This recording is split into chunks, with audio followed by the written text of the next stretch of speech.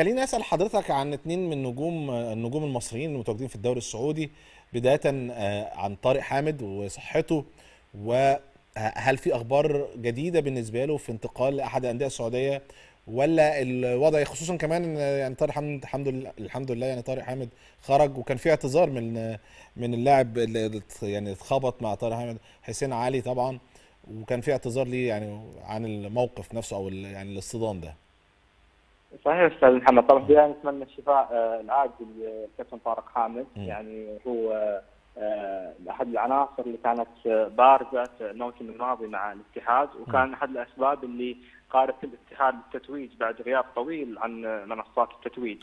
بالنسبة ل طبعا هو أجرى آه، يوم الأمس في ساعات تاخر عملية جراحية تفلت بالنجاح الحمد لله يعني حاليا اموره جدا ممتازة.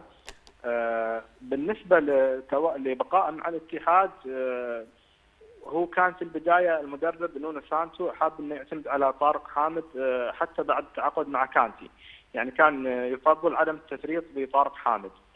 لكن حاليا بعد تعاقد الاتحاد مع العديد من اللاعبين أصبح عند الاتحاد عشر لاعبين أجانب واللائحة يعني تفرض على الاتحاد تسجيل ثمان لاعبين فقط.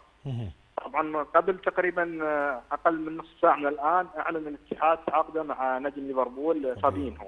صحيح. فبالنسبة للأخبار اللي تأتي من داخل الاتحاد انه آه، ممكن يكون في تسوية لعقد طارق حامد. آه والاتجاه فين؟ مع- المعلومة عند حضرتك ولا مش موجودة؟ آه، والله شوف هو هو المعلوم ان في معلومات إن في مثلا عندك عنده عروض من آه، أندية سعودية أخرى أيضا تنافس دوري روشن اللي هو الدوري الممتاز مم. من ضمنها نادي الوحدة ولكن حتى الآن هذا الشيء يعتمد على رغبة الكابتن طارق حامد في في الاستمرار في الدوري السعودي خارج أسوار نادي الاتحاد. أو آه، الانتقال إلى دوري آخر. وأيضا يعتمد هذا على آه، سرعة يعني خلينا نقول تفاهم ال- إدارة النادي مع طارق حامد على اللي هو العقد. آه اللي هو تصفية الأمور الخاصة بيهم يعني. صحيح. طيب ما فيش أي يعني تفاصيل خاصة ممكن يكون نادي الزمالك آه، يعني اتكلم مع نادي الاتحاد أو اتكلم مع طارق حامد؟ هل المعلومة برضو موجودة عند حضرتك ولا؟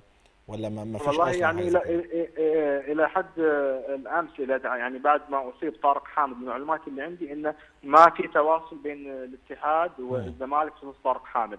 المعلومة المؤكدة إن في تواصل يعني في رغبة من نادي الوحده السعودي بضم طارق حامد. تمام طيب برضو بالنسبة لنجمنا أحمد حجازي وبعد العملية هل هيكون في تكملة للمشوار لأحمد حجازي مع ناديه ولا الأمور هتختلف بعد العملية؟ آه، طبعا آه، إصابة الكابتن أحمد حجازي مثل ما أنتم عارفين اللي هو قطع بالرباط الصليبي.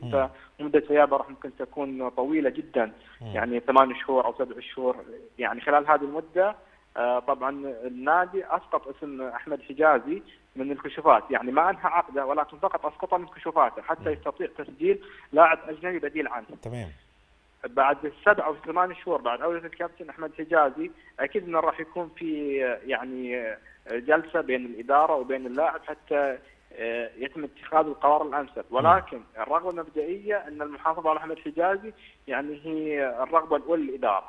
تمام. يعني الرغبة الأولى لنادي الاتحاد هو بقاء أحمد حجازي يعني في نادي الاتحاد واستكمال المشوار. صحيح كابتن. طيب صحيح. نتمنى التوفيق طبعا لأحمد حجازي وطارق حامد. وبشكرك يعني أستاذ آه، عبد الأعلى سقير الحقيقة من خلال طبعا معلوماته والحديث عن مباراة الزمالك. بشكره شكرا جزيلا الصحفي السعودي. خليني طبعا